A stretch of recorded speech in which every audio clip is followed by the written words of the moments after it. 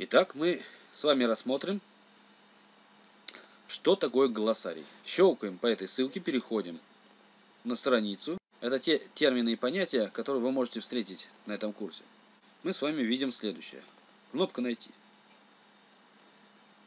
Вы вводите сюда слово, потом нажимаете кнопку «Найти».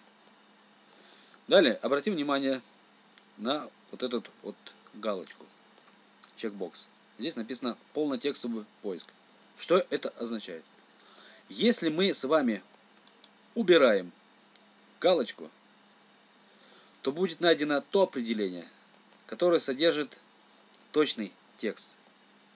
Например, внимание. Найти.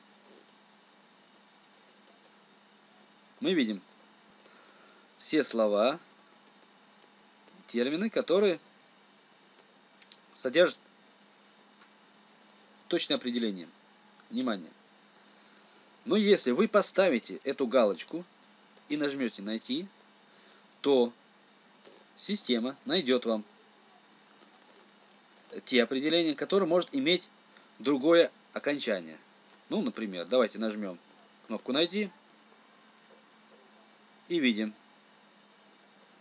что система нам нашла определение как внимание, внимание, ну вот вниманием. То есть оно может не совпадать с точной формулировкой.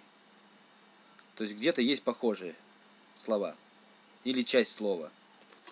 Далее мы с вами выходим из глоссария, нажимаем на ссылку